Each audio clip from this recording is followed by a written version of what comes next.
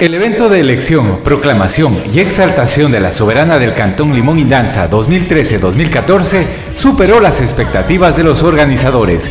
Con más de 700 espectadores, una programación extensa y muy entretenida y números especiales desarrollados en un escenario de cascadas, luces, burbujas y confeti nunca antes visto en el cantón.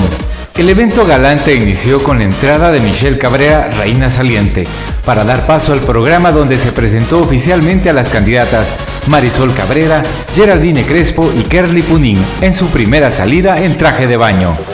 Las presentaciones artísticas fueron sin duda un gran atractivo que amenizó la noche de elección. Dalila, Juan Fernando, el trío Los Diamantes y la presentación del grupo Quinto Mandamiento desde la ciudad de Quito. La expectativa y ánimos de las barras de las candidatas estaban a reventar hasta que se dio la salida de trajes típicos muy elaborados, una riqueza temática que se convirtió en un caleidoscopio de formas y colores que reflejaron el maravilloso entorno de nuestra naturaleza indómita.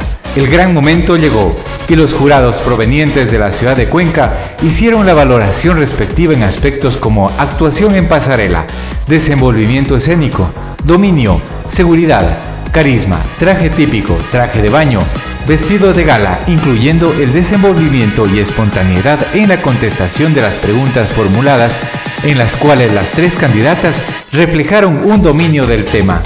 Mi homenaje a la mujer que ha hecho valer su intelecto por encima de su aparente belleza física. ¡Que viva la mujer limonense!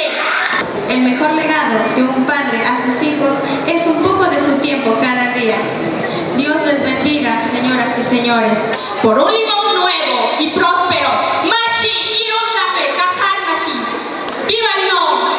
Luego de contados los puntos en presencia del notario del cantón, doctor Enrique González, se proclamó a Geraldine Crespo como nueva reina del cantón. Marisol Cabrera, señorita Acción Social, y Kerry Punin, señorita Turismo 2013-2014. Felicidades a nuestras dignas representantes de la mujer limonense que tendrán un año para integrarse a los eventos sociales, culturales, deportivos y turísticos que requieran de su aporte e iniciativa. Agradecemos a todos quienes participan de los eventos que organiza el GAL Municipal por los 63 años de cantonización.